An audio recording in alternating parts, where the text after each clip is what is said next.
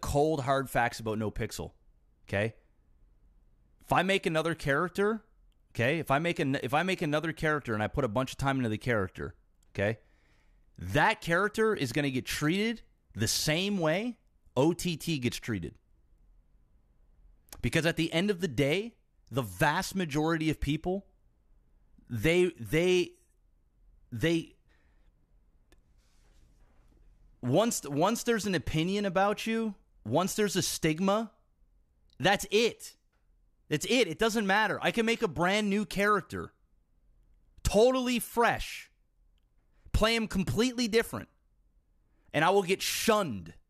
I will be ignored. I will be cut short because the reality is they know it's me playing the character. That is just the truth, is how the server works. It's a friend zone.